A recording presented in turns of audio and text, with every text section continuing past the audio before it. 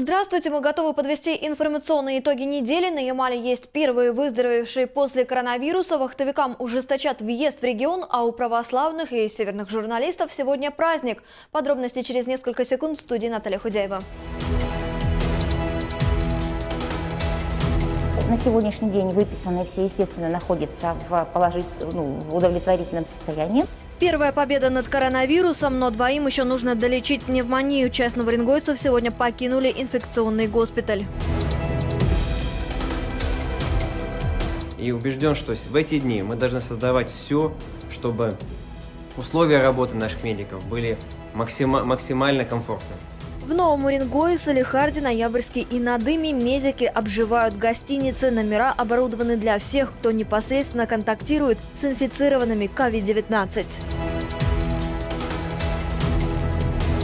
Фиксируется хорошо, сзади можно ну, уплотнить, если нужно, поэтому очень довольны и очень неожиданно было. Спасибо большое. Прям Рад, умелые руки. Технологии для спасения новоренгоец Николай Черепанов изготовил на 3D-принтере маски для работников инфекционного госпиталя. Предлагаю предоставить малым и средним компаниям пострадавших отраслей, подчеркну, дополнительно к уже принятым мерам поддержки, прямую безвозмездную финансовую помощь со стороны государства. Помогут остаться на плаву. Федеральный центр и правительство Ямала принимают новые меры поддержки предпринимателей. Будем просить Бога о том, чтобы даровался нам здравие, долгоденствие, Смертью смерть поправ православные верующие отмечают Пасху. Теперь обо всем по порядку. Первые новоренгойцы, находившиеся в инфекционном госпитале с коронавирусом, во вторник покинули его стены, но двоим больничный пока продлен. Им необходимо долечить пневмонию. Об этом рассказала Ирина Чайковская, заведующая инфекционным госпиталем Новоренгойской больницы. Она подчеркнула, что пациенты, если можно так сказать, были максимально комфортными для врачей. Они не паниковали, четко выполняли все рекомендации медиков, что способствовало их скорому выздоровлению. Это были первые пациенты, которые э, требовали ну, вот, максимальной концентрации, потому что они были, во-первых, и первые. Из, из четырех человек двое были с пневмонией. Поэтому, естественно, все прекрасно понимают, что именно пневмония как осложнение угрожаемое по всем э, ну, не, самым неблагоприятным исходам. На сегодняшний день выписанные все, естественно, находятся в, положить, ну, в удовлетворительном состоянии. У них у всех э, два мазка. То есть э, критерием выписки являются два отрицательных ПЦР-мазка – ЗЕВ э, и НОС.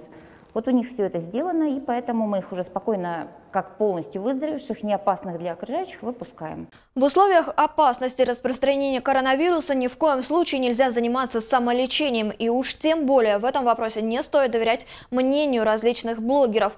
Но держать дома аптечку с определенным набором лекарств и медикаментов необходимо. Чего точно не стоит делать, так это скупать лекарства по рекомендациям сети интернет, кто бы ни писал, что они якобы эффективны против нового коронавируса. Специфических препаратов для лечения COVID пока нет. Те, что рекомендованы ВОЗ, обладают серьезными побочными действиями. Их могут назначать только врачи и только в условиях стационара. Впрочем, это не значит, что совсем беспокоиться о лекарствах не надо. В домашней аптечке должны быть препараты на непредвиденный случай в условиях карантина. Это, во-первых, избавит от необходимости лишний раз бежать в аптеку, а кроме того позволит не растеряться в случае ЧП, например, пореза или незначительного ожога.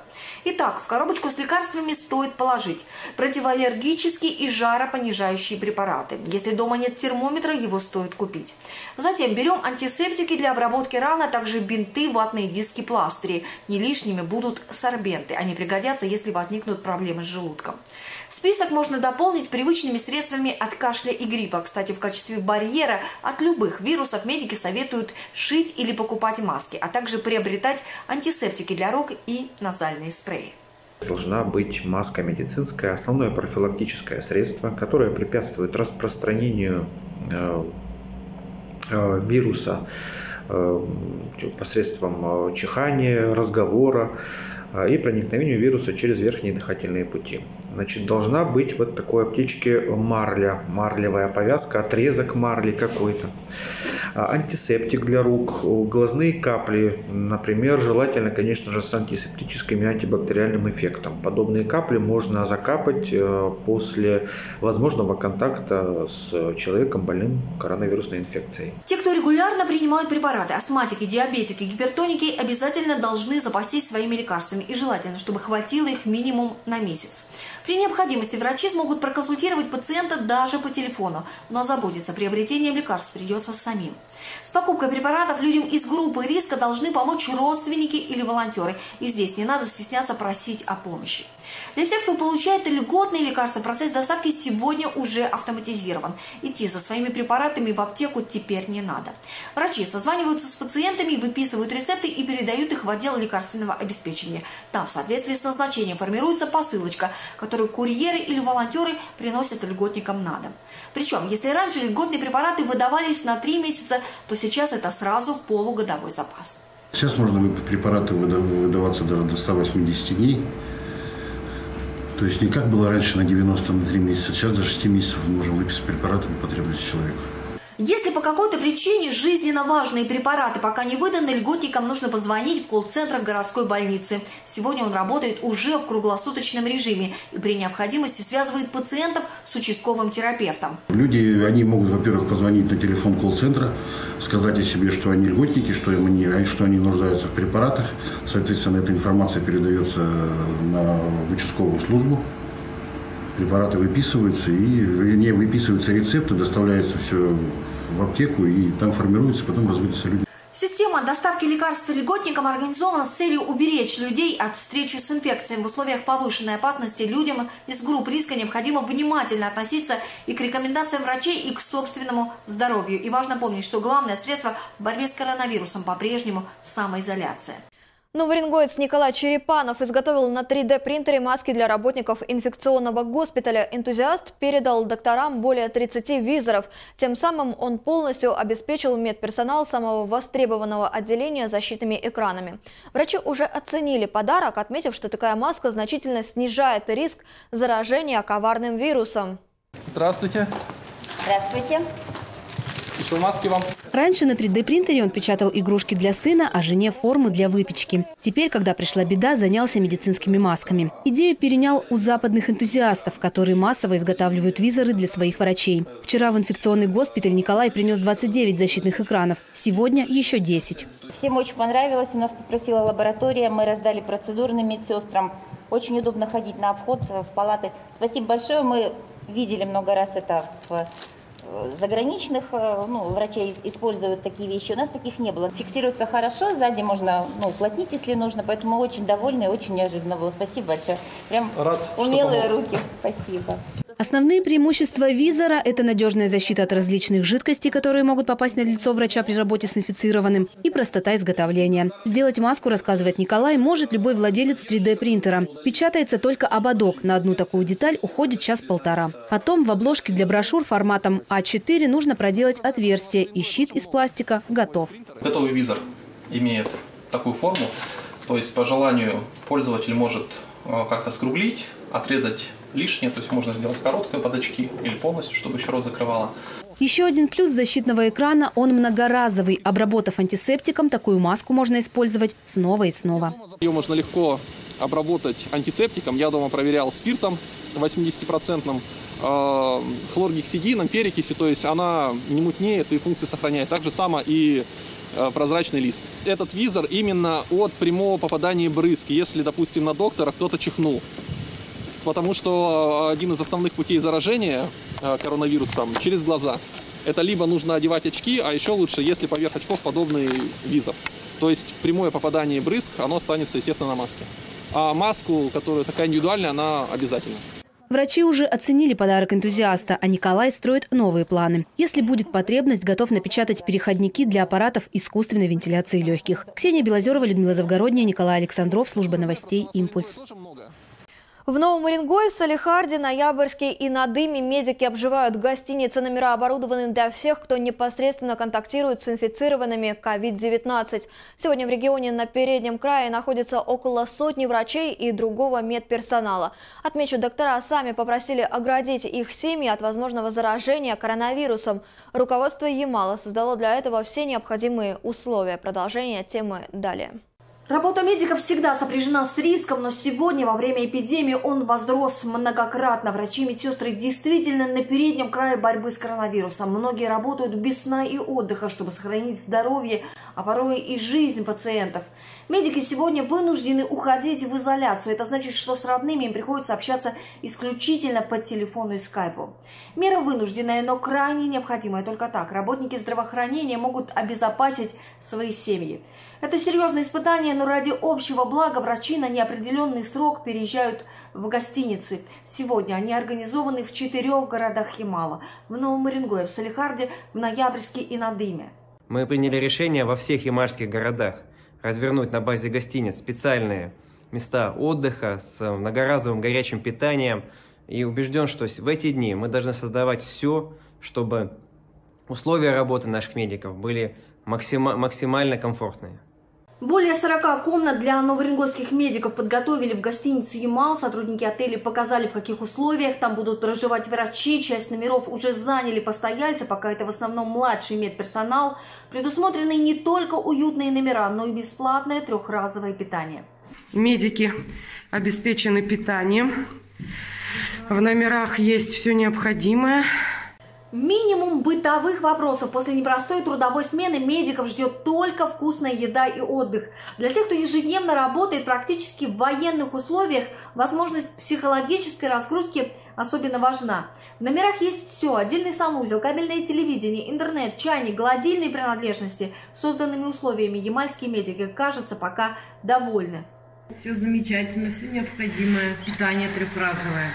Все замечательно, никаких претензий, нам все нравится. Отдых замечательный после рабочей смены.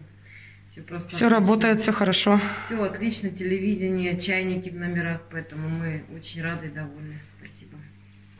Хороший номер, стандартный. Есть телевидение. Правда, еще не пробовал, но думаю, что есть.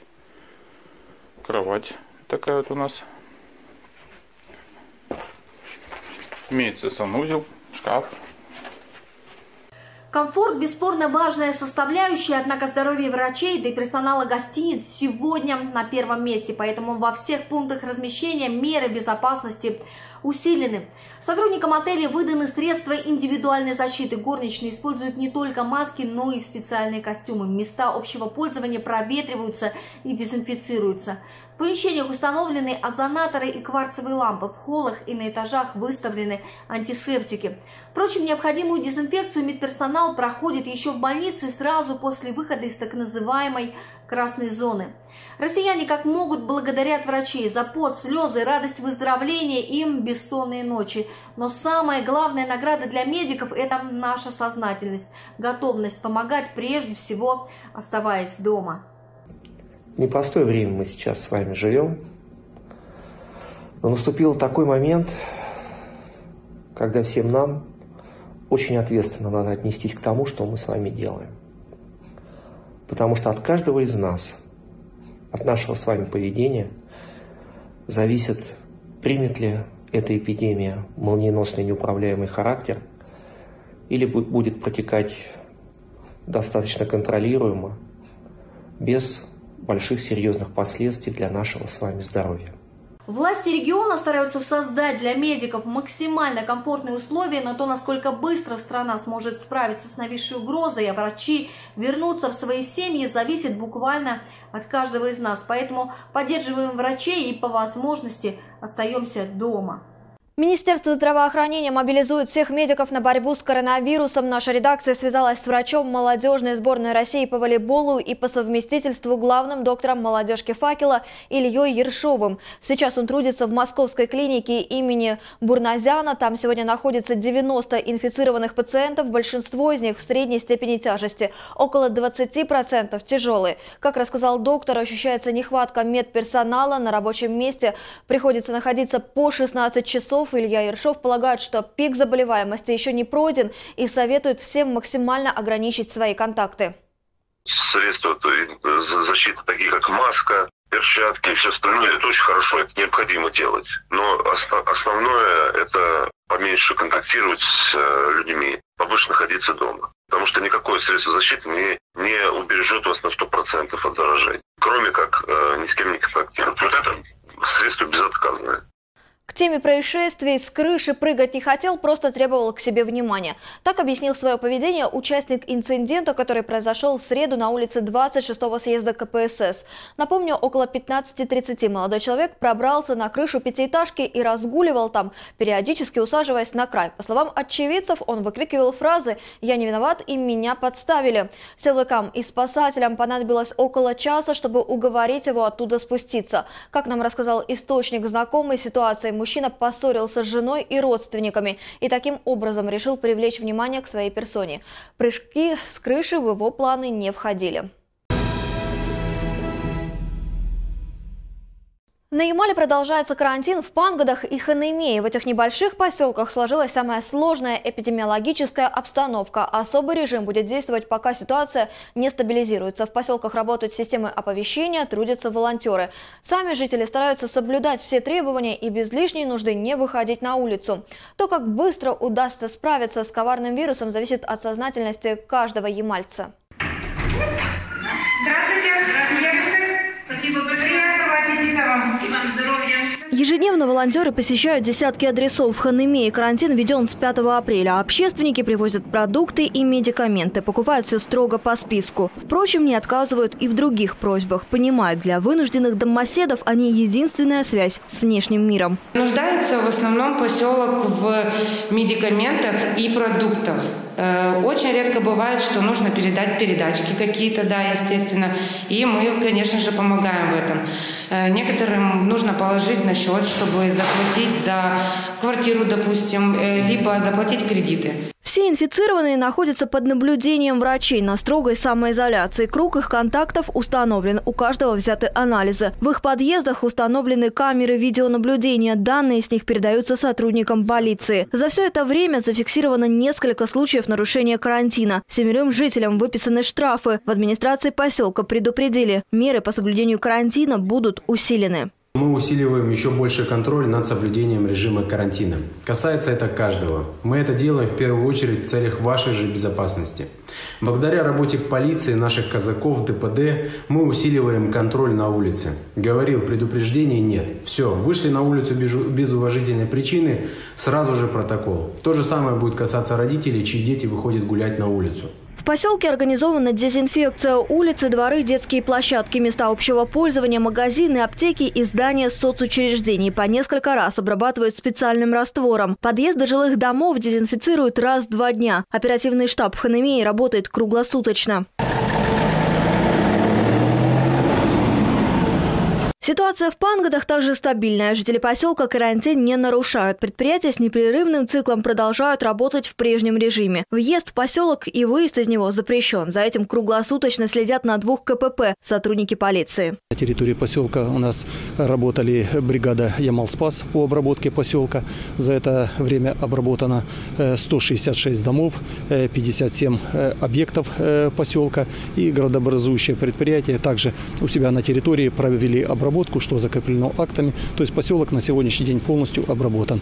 В администрации района сообщили, что с продуктами питания и товарами первой необходимости перебоев нет. Машины с продовольствием заходят по спецпропускам. В аптеках и магазинах малолюдно. С теми, кто вообще не может выходить на улицу, работают волонтеры. Наталья Худяева, служба новостей «Импульс».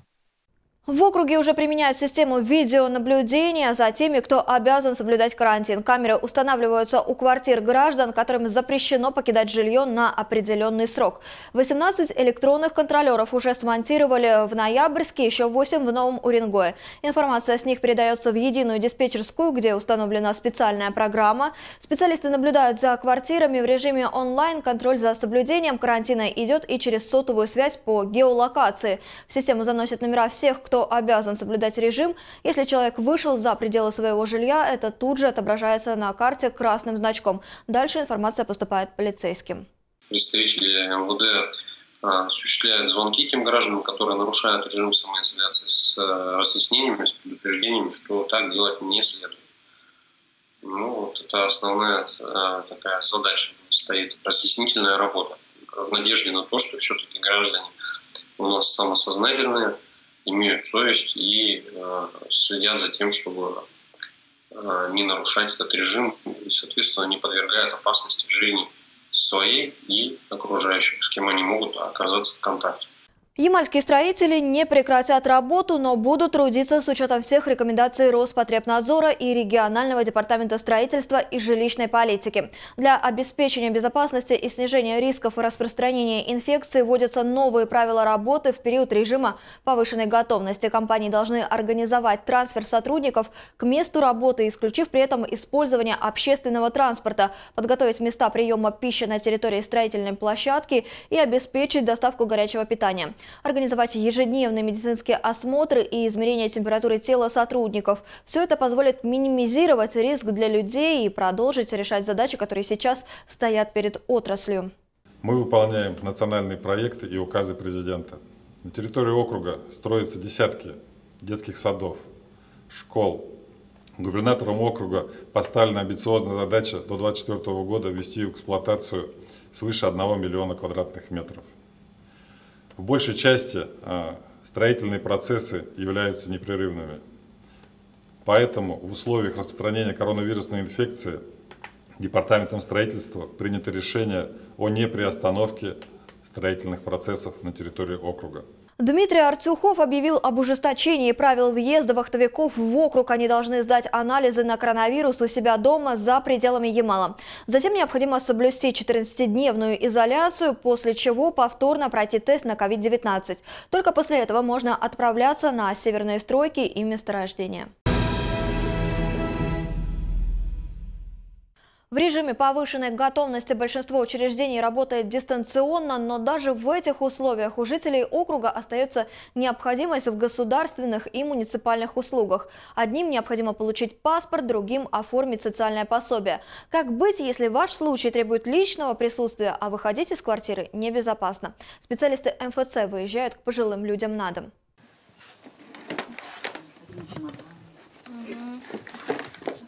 Если ядерный чемоданчик – инструмент сдерживания, то черный саквояж специалиста МФЦ Юлдус Кирейтовой вполне сойдет за переносной кабинет. Здесь все самое необходимое для работы на выезде – компьютер с нужной программой, сканер и принтер в одном лице. А это две справочки на отсутствие судимости. Тоже проверяйте. Ранее специалисты работали на выезде только с инвалидами, но как только стало понятно, что вирус беспощаден к тем, кому за 60+, было принято решение позаботиться и о них. Заявки на выездное обслуживание принимают по номеру горячей линии 8 800 2115. Пенсионерам такая забота пришлась по душе. Конечно, удобно, что не ехать.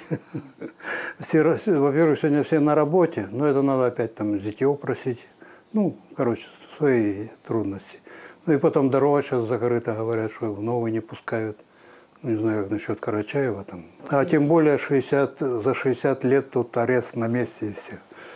По словам специалистов многофункционального центра, услуга и без того пользовалась популярностью, а сейчас стала еще более актуальной. С начала года ей воспользовались 35 человек. С момента введения особого режима уже 11. И, вероятнее всего, количество обращений будет расти. Это наши расписки о том, что мы выдали вам документы, а это ваши справочки. Угу, спасибо. Пожалуйста. В самом здании МФЦ сегодня немноголюдно. Принимают только по предварительной записи. Клиентам предлагают продезинфицировать руки. Весь персонал в перчатках и масках. В зале даже сделали перестановку, соблюдая безопасную дистанцию между клиентом и специалистом. Для удобства и безопасности граждан мы предусмотрели несколько способов получения услуг. Самый безопасный – это получение услуг в электронном виде через сайт госуслуг, либо официальный портал ведомства. Для этого необходимо иметь подтвержденную учетную запись в госуслугах. Пошаговую консультацию заявители могут получить на горячей линии, организованной на базе МФЦ, позвонив по номеру телефона 8 800 2115, нажав клавишу 3.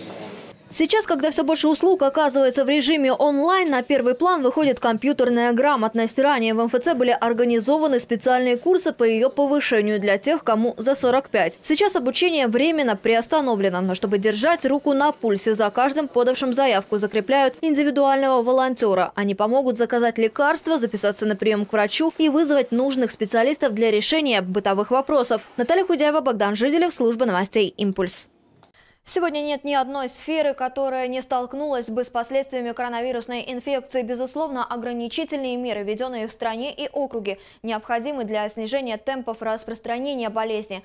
Вместе с тем, эпидемия коронавируса поставила под удар всю мировую экономику. Одними из первых последствий ощутили на себе малые и средние предприятия. Они наиболее остро реагируют на снижение спроса и нуждаются в помощи. Даже в этих непростых условиях Ямал стал вторым регионом после Москвы, кто разработал и принял собственные меры поддержки предпринимателей. Слово Юлии Шарковой. Студия йоги и фитнеса сейчас пуста. Директор Анна Бублик с ограничительными мерами из-за распространения коронавируса, конечно, согласна. Вот только ее бизнес с 28 марта стал нести серьезные убытки. Существенные затраты на оплату аренды, а также кредит за реквизит для тренировок сильно ударили по карману помогли меры поддержки, принятые правительством округа. Анне удалось получить единовременную выплату в размере 200 тысяч рублей, заполнив заявку на сайте «Сохрани бизнес 89 РФ». Отправила заявку, а со мной через несколько часов уже связались, с Алихардо позвонили уточнили некоторые моменты, там подсказали, что еще нужно будет добавить, потому что я вначале прочитала, я ну, недопоняла тот пакет документов, который потребуется, то есть попросили дополнить, то есть я как бы достаточно быстро все это сразу выслала, за сутки, наверное. И ну и, кстати, помощь тоже так же быстро пришла. Новые реалии подталкивают и предпринимателей идти навстречу друг другу и делать добрые дела. К примеру, в этой студии йоги и фитнеса преподаватели записывают бесплатные онлайн-тренировки и выкладывают их на своей странице в Инстаграм. А некоторые пошли дальше. Руководство ТРЦ «Славянский» в Салихарде отменило плату за аренду помещений. Мы видели решение правительства об отмене аренды на государственное и муниципальное имущество и решили также, такое же решение приняли об отмене аренды и в коммерческом блоке. То есть наши арендаты на период закрытия комплекса, конечно, это был дифференцированный подход, но если в целом, то не платят арендную плату на период закрытия комплекса. Почему? Нам очень важно, чтобы они остались в этом бизнесе. На Ямале 18 тысяч малых и средних предприятий. В них трудится 55 тысяч человек. Предприниматели и арендаторы рады любой поддержке как со стороны государства, так и со стороны арендодателей. Самое главное, что нам позволит это сделать, это сохранить нашу команду, которую да, очень тяжело сделать это сохранить тех ребят, которые с нами работают, которые нас полностью в данный момент устраивают. Накануне Владимир Путин выступил с заявлением о необходимости поддержать малые и средние компании, наиболее пострадавшие в условиях ограничительных мер. Это должна быть прямая безвозмездная финансовая помощь со стороны государства. Эти средства предприятия смогут направить на решение текущих, самых неотложных задач, в том числе на выплату зарплат, на сохранение уровня оплаты труда своих сотрудников в апреле и мае. Объем поддержки для конкретной компании будет рассчитываться с учетом общей численности ее работников по состоянию на 1 апреля текущего года, исходя из суммы в 12 130 рублей на одного сотрудника в месяц. Правительство Ямала уже приняло ряд мер поддержки бизнеса. В частности, была уменьшена ставка по некоторым налогам. Всю необходимую информацию готовы предоставить операторы колл-центра по телефону горячей линии 8 800 350 2089. Юлия Шаркова, Антон Берестянский, служба новостей «Импульс». Северяне, как показывает практика, люди дисциплинированные и, когда это необходимо, готовы объединиться, чтобы справиться с общей проблемой. Сегодня нам диктуют условия коронавирус. Ограничительные меры и режим самоизоляции коснулись каждого жителя округа. В поселках Пангады и Ханемей контроль усилен, там введен карантин. Как люди живут в этой новой реальности, расскажем прямо сейчас. Сидеть дома не значит скучать, уверен председатель Совета ветеранов Тазовского района Виктор Москвин. Как и многие, он сейчас не выходит на улицу без крайней необходимости. Считает, соблюдать режим самоизоляции в первую очередь должны люди старшего поколения. И это не повод потерять бодрость духа и забыть о физической форме. Каждое утро Виктор Николаевич делает зарядку обязательно с гантелями и чистит снег у дверей своего дома. Иммунная система у нас ослаблена.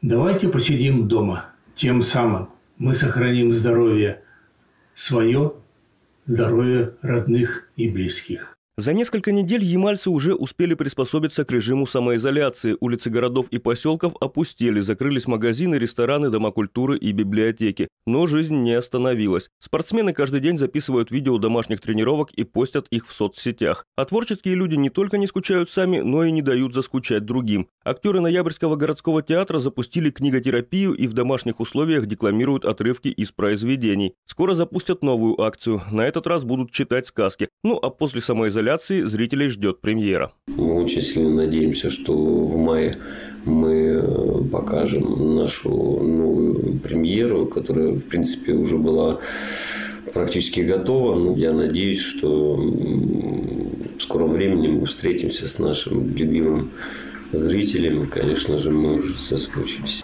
За теми, кто отказывается соблюдать режим самоизоляции, следят полицейские. Они регулярно отправляются в рейды и разъясняют загулявшимся жителям, что покидать жилье можно только в случае крайней необходимости. Мы профилактируем это э, ежедневно, э, разносим листовки э, в связи с тем, что есть люди, те, которые ну, заболели у нас уже, и, соответственно, как бы как говорится, предупреждаем всех жителей для того, чтобы не было нарушений с их стороны и без причины не выходить из дома. На боевом посту и все экстренные службы. Тушить пожары и лечить людей надо вне зависимости от пандемии. Большинство социальных служб перешли на работу в режиме онлайн. Даже встать на учет по безработице или подтвердить данный статус теперь можно через интернет. При этом количество обращений в центры занятости меньше не стало. Каждый день от ямальцев, которые желают трудоустроиться, поступают сотни звонков. В ноябрьске вырос спрос на услуги социального такси. Среди пассажиров исключительно люди с ограниченными возможностями здоровья. При этом коллективные заявки общественники отменили, возят людей поодиночке. Мы как поставщики социальных услуг попадаем под указ президента и относимся к организациям, которые не останавливают свою деятельность, потому что наша деятельность относится к сфере социальных услуг и является непрерывной. А вот большинству ямальских предпринимателей свою деятельность пришлось приостановить. Закрылись торговые центры, кафе и парикмахерские. Но многие не опустили руки, а напротив выражают солидарность со всеми. Занимаются благотворительностью. Так в Новом Уренгое после закрытия одной из кофеин осталось много продуктов. Из них приготовили десятки блинчиков и бургеров. Горячую еду развезли многодетным, пожилым и всем, кому сейчас особенно нужна помощь и поддержка. На прошлой неделе гостиницам и автосервисам было разрешено вновь открыть свои двери. Правда, общение с клиентами сведено к минимуму минимуму. Те, кто имеет непосредственный контакт с людьми, работают в масках. Ну что, я думаю, наше правительство заботится о том, чтобы мы не заболели, конечно, вот. А так, для предпринимателей я слышал, что будут налоговые льготы, но налоги я все заплатил уже, как говорится, и спи спокойно. Особая ситуация в Ханымее и Пангадах. Здесь введен карантин, но сами жители поселков уверены, если соблюдать все правила, болезнь скоро отступит.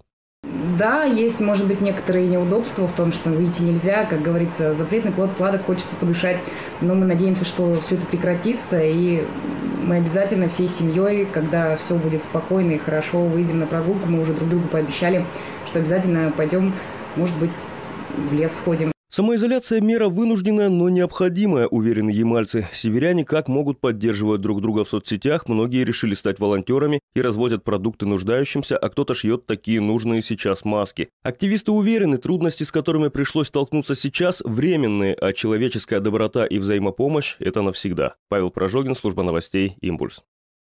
Единый волонтерский штаб, созданный в Новом Уренгое, с каждым днем принимает все больше заявок от граждан, которым требуется помощь на период самоизоляции. Звонки поступают на федеральный номер 8 800 234 11, а затем э, распределяются по тем населенным пунктам, откуда они поступили. Добровольцы готовы принести продукты, купить лекарства, погулять с собакой в зоне особого внимания. Ветераны Великой Отечественной войны. Продолжение темы в сюжете. После, когда вы приобретаете все необходимые лекарства, вы звоните заявителю, сообщаете о том, что мы сейчас подойдем. Документы, деньги и необходимые инструкции получены. Первая группа волонтеров, вооружившись масками, перчатками и антисептиками, отправляется исполнять задание. Пожилой женщине необходимо купить лекарства. Чем чаще в штаб поступают заявки, тем больше работы у активистов. Да. У добровольцев есть еще одна миссия – обойти ветеранов, узнать об их самочувствии и передать продукты. О своем визите предупреждают заранее. Пакеты складывают на стул у двери. Заходить в квартиры строго запрещено. Это ваше. Это мое. Это ваш хлеб, да. А, а то продукты. Продукты мне? Да, представительство главы Чеченской Республики, да. Продуктовые наборы для ветеранов Великой Отечественной подготовили представители Чеченской национально-культурной автономии. В увесистом пакете все самое необходимое. Крупы, рис, гречка, масло растительное, э, курица, картошка, морковь, лук. Э, все, что может понадобиться человеку для, скажем так, э, самоизоляции. Недельно, да, будем обзванивать их и интересоваться, все ли у них хватает, все ли в порядке. Ветераны рады и подарку, и короткому общению. Ираида Мильшина приглашает гостей в дом, но понимая, что им заходить не положено, с порога пытается вести разговор. Сама она в изоляции держится бодро, ежедневно делает зарядку и не падает духом. Ну, я нормально сижу, я с палками хожу по 400, по 500 раз. Я через каждый час стою, а потом встаю, что-то такое, я как начинаю руками, ногами, все это самое, поприседаю 20-30 раз. Ничего, и стараюсь, это 92 года, ничего еще хожу. Отдельные пакеты со свежей выпечкой. Ее приготовила для седых защитников индивидуальный предприниматель, владелец пекарни «Ремесленный хлеб». Постоянно она выпекает хлеб и дает его ветерану. Однако сейчас, в период пандемии, так как необходимо соблюдать режим самоизоляции, людям пожилого возраста лучше оставаться дома. И именно вот здесь на помощь приходят волонтеры, которые готовы привезти этот самый хлеб. Сегодня единый волонтерский штаб в Новом Уренгое объединяет более 200 человек. Добровольцы готовы принять в свои ряды всех активных и неравнодушных – и горожан, и предпринимателей. Если предприятие какое-то хочет выступать в роли партнера в данной акции, ему необходимо подать заявку на сайте «Мы вместе» в разделе «Хочу помочь». Там заявочка короткая, в принципе, нет ничего сложного, необходимо заполнить наименование организации и какую помощь вы готовы осуществлять. Далее эту заявку о помощи передадут нам в Уренгойский штаб, и далее я уже буду связываться с человеком, который хочет осуществлять эту помощь. С каждым днем в единый волонтерский штаб поступает все больше заявок. Но это не беда. Главное, что есть люди, которые готовы их исполнить. Ксения Белозерова, Людмила Завгородняя, Андрей Мальцев, служба новостей «Импульс». К благому делу подключились ямальские единороссы. Они организовали социальную акцию «Северяне против коронавируса». Как отметил секретарь регионального отделения партии Алексей Ситников, нуждающимся жителям округа будут приобретены и доставлены продуктовые наборы. Школьникам из малообеспеченных семей подключат интернет. Медиков обеспечат горячими обедами. Средства на акцию выделили члены «Единой России», депутаты и сторонники партии. Поставщиками продуктов и горячего питания станут местные предприятия. Таким образом, мало малому и среднему бизнесу округа тоже будет оказана реальная поддержка. Сегодня, как и вся страна, Ямал переживает достаточно непростое время. И в регионе, как и во всей стране, вы знаете, объявлен режим э, повышенной готовности. В стране э, увеличивается количество заболевших COVID-19. К сожалению, есть и потери. Волонтерский центр в связи с пандемией коронавируса объединил уже около 300 участников во всех муниципалитетах нашего субъекта. Сейчас мы значительно расширяем меры поддержки, которые будут оказываться всем нуждающимся. Запускаем акцию «Северяне против коронавируса». Настоящие северяне всегда придут на помощь. Мы своих беде не бросаем. Наши волонтеры будут не только оказывать услуги доставки продуктов лекарства на дом, но и собирать продуктовые наборы и товары первой необходимости для тех, кто нуждается в нашей поддержке и помощи.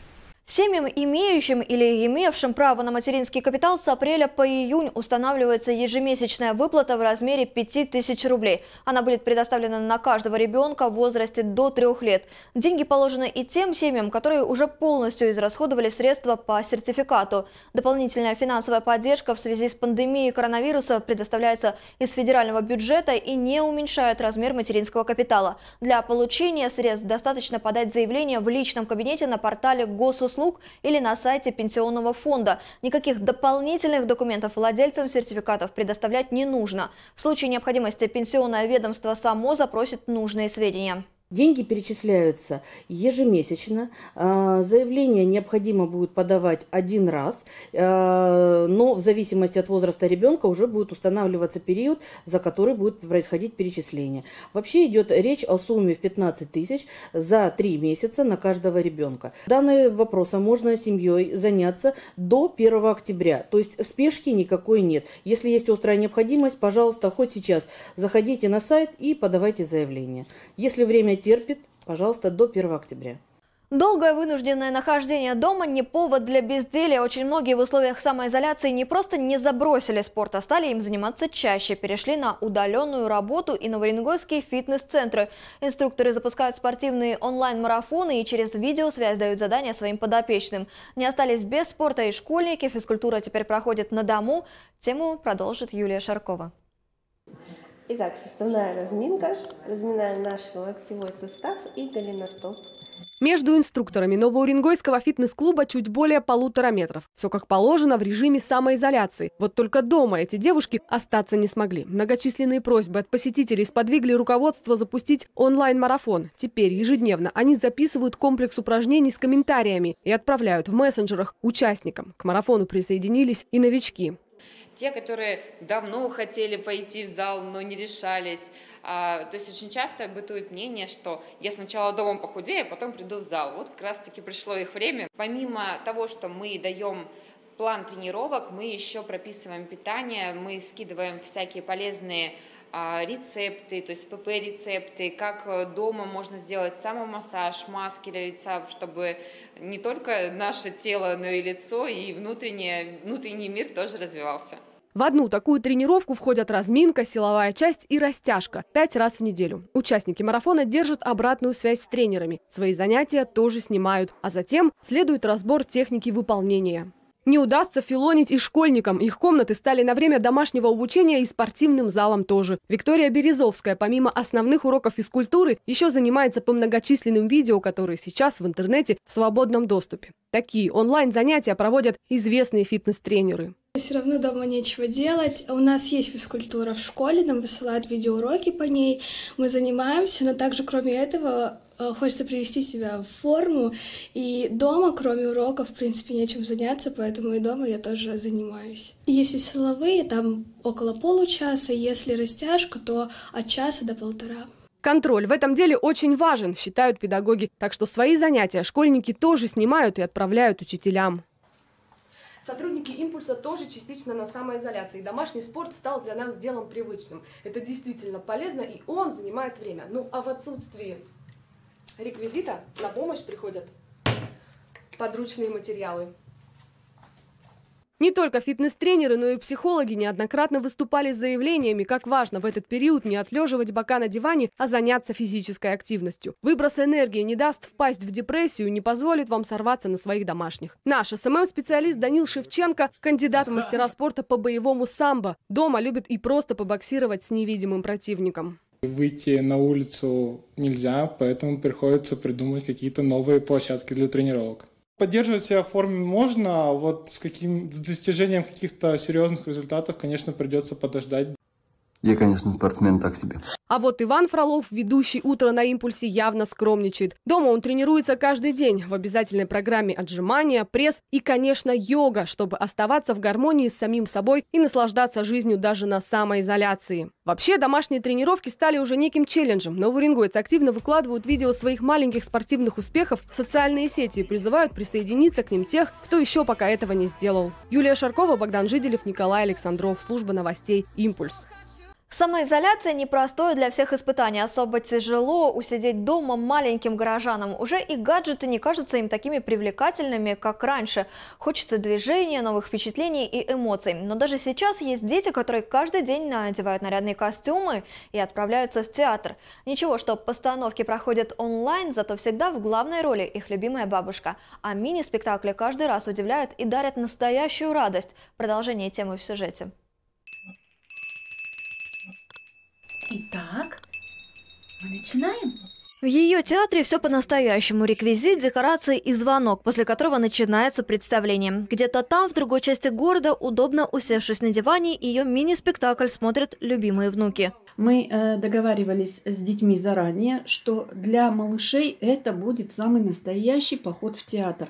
То есть их нарядили, их э, посадили на диван, им сказали, что сейчас будет э, представление э, в театре у бабушки Юли.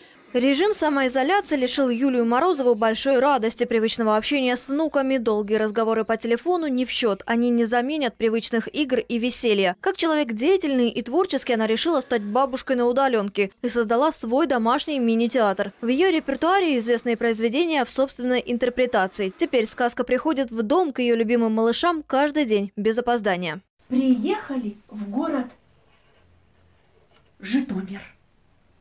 Носильщик. Пятнадцатый номер везет на тележке багаж. Диван, чемодан, саквояж, корзину, картину, картонку. А сзади ведут собачонку.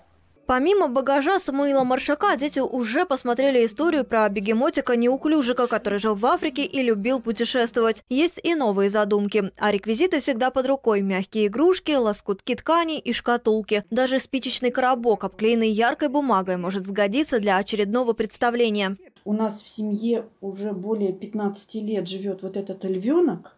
На...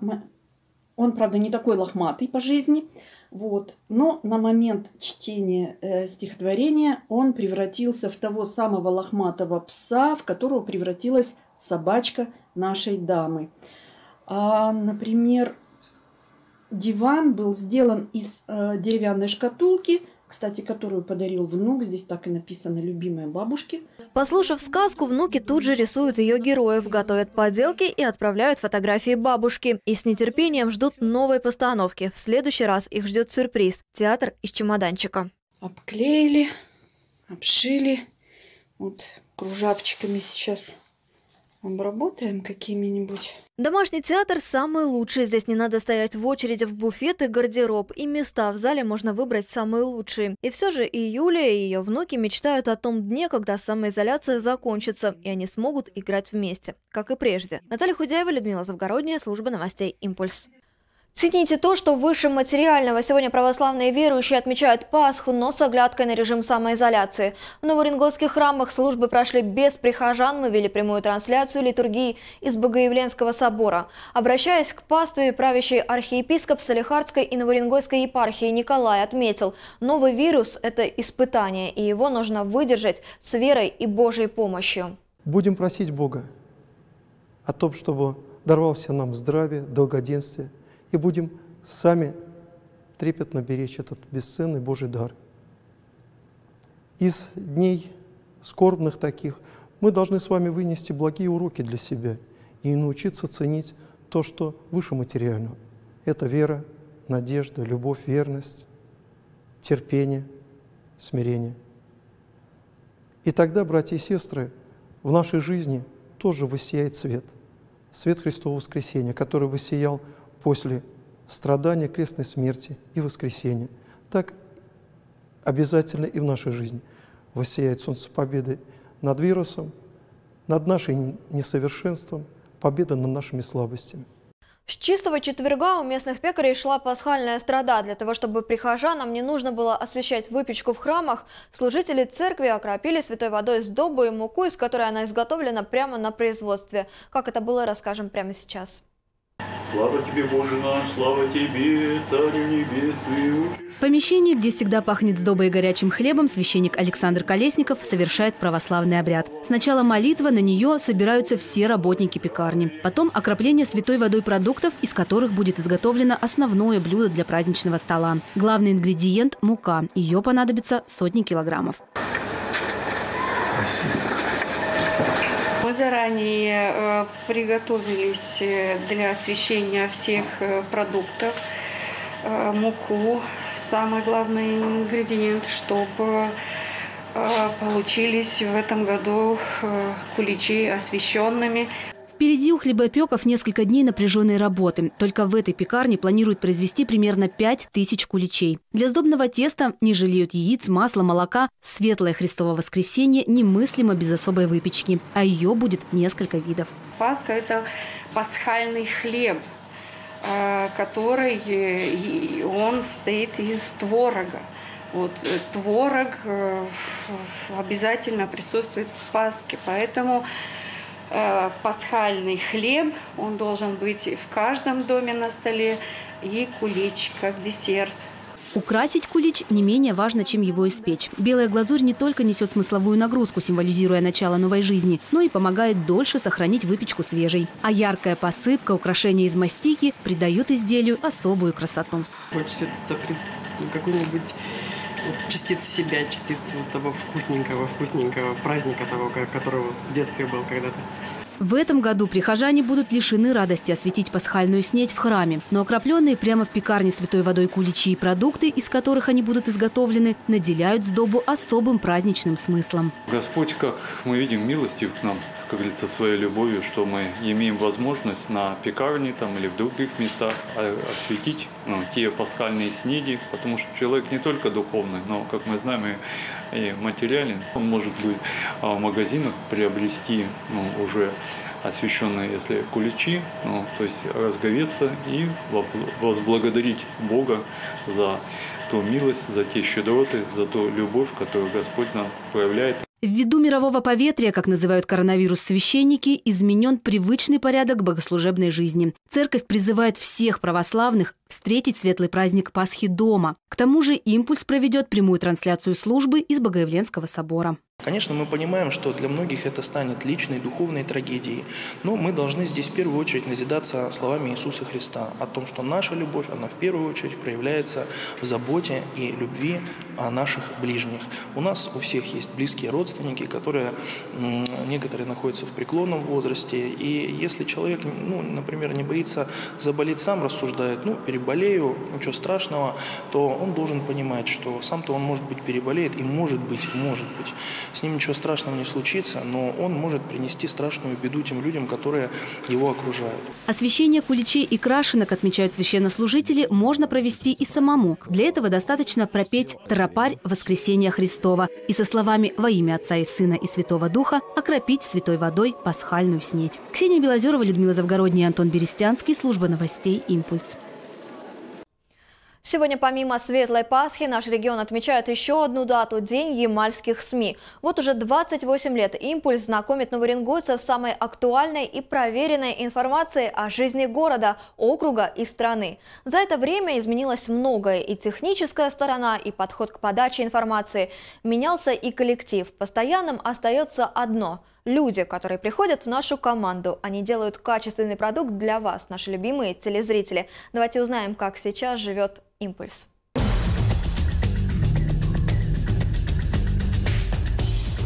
Вот в этом здании на площади 1400 квадратных метров ежедневно идет непрерывный процесс.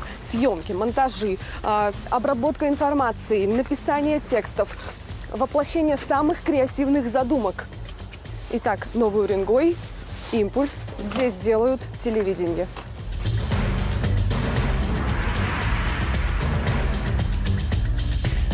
Сейчас на телеканале «Импульс» выходит более десятка различных проектов и телепрограмм. Информационные, развлекательные, музыкальные, спортивные. Ведущие работают в прямых эфирах и создают выпуски новостей. И все в формате HD, чтобы зритель видел изображение в наилучшем качестве. Но это сейчас, а раньше работать приходилось совсем в других условиях. Руководитель редакции информационных программ Наталья Худяева помнит те времена. Я застала времена работы с кассетами. То есть это была Прежде чем поехать на съемку, ты должен был прийти э, к диспетчеру, он тебе выдаст кассету, спросит, куда ты едешь, там отфиксирует себе этот момент. И когда ты приезжаешь и к этому видеомагнитофону, на котором ты должен отсмотреть материал, такая очередь. Мне кажется, даже Богдан застал те времена. Богдан, ты застал те времена? Вот, да, мы с ним работали на кассетах. Прогресс не стоит на месте, и многое в работе тележурналистов упростилось. Но сама суть, конечно, не меняется никогда. Одни из главных создателей телеконтента – это те, благодаря которым вы сейчас можете видеть меня на своих экранах.